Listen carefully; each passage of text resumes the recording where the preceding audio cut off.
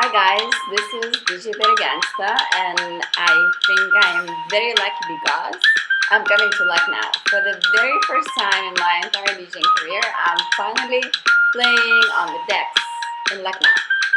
So, some more information just to give the guidelines. 2nd of November 2014, I will already be there playing for you guys.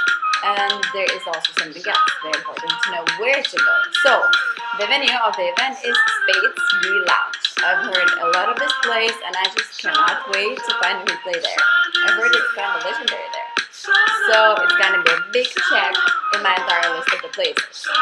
And some more details. So first of all, I would like to say thank you for the organizers, Sarapat, also Afsal Ali, and two more very special, very, very, very special thanks for the guys that actually got in touch with me and invited me to come to Lucknow.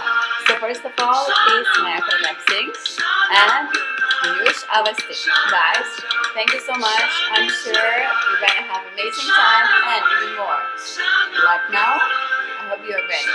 It's going to be kind of the after party of the Halloween festival, so be like third or even the fourth day of partying since going to be Sunday.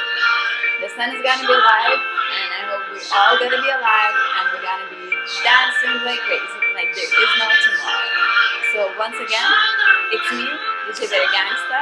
I'll be there on the 2nd of November at Spades D Lounge in Lucknow. I'll see you there.